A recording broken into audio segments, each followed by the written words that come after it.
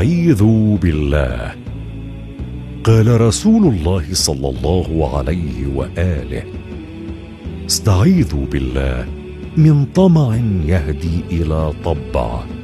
استعيذوا بالله من الفقر والعيلة ومن أن تظلموا أو تظلموا.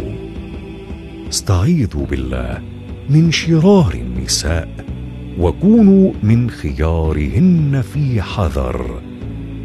استعيذوا بالله من العين فإن العين حق.